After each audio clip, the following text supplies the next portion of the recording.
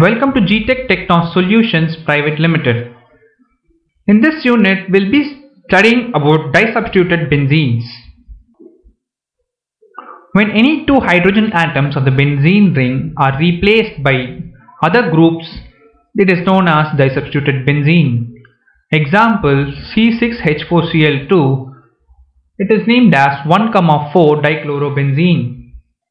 Similarly, if there is OH2 OH group present, we, we name it as 1,2 dihydroxybenzene. If bromine is present, it is known as 2-bromotoluene.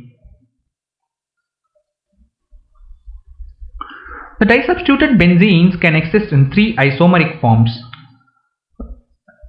and they are exhibit said to exhibit isomerism.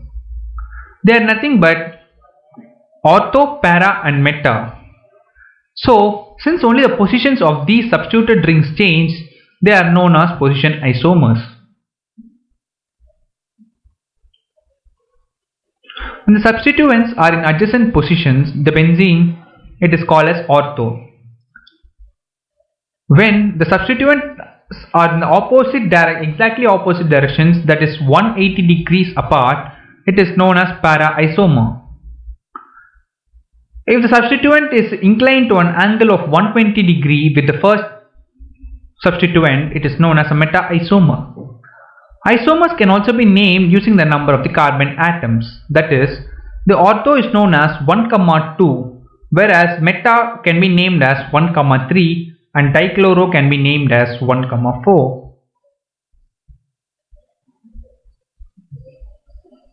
It must be always remembered that these there are two ortho and two meta positions for a disubstituted benzene, but para has only one position.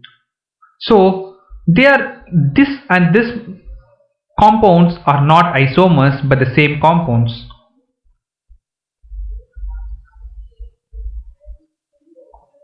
Similarly, even for meta, they are not isomers but the same compounds. Melting point is an important physical property of disubstituted benzene.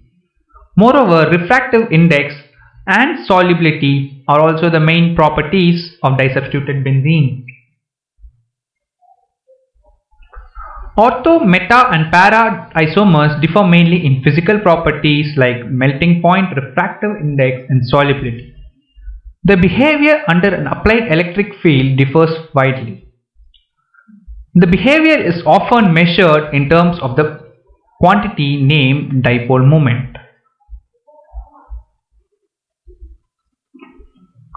For disubstituted benzenes, the magnitude of dipole moment depends upon the angle between the two substituents.